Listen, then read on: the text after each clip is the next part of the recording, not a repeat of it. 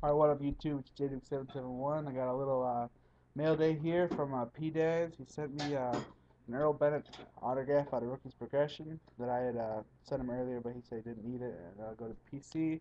And he also threw in this uh, triple relics from Absolute Memorabilia 08 Earl Bennett jersey, football jersey, so it's appreciated. That's number one of 199 so that's nice. So uh, thanks P Daz uh, he's a good guy. Sub to him and uh, that's it. So uh, thank you for watching and uh, uh, peace out